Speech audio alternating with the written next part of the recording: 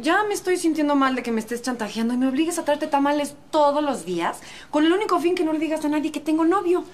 No, hija, no te sientas mal. Mira, ¿por qué no mejor lo ves como una ayuda humanitaria para un pobre viejecito que tiene, además de información privilegiada, un hambre atroz? Y a propósito, ¿cómo te va con el tal Aldolfo? Ay, muy bien. Es hermoso. Me siento como Campanita y Peter Pan. Es, es lindo, divino, soñador. Ay, es encantador. ¡Nena!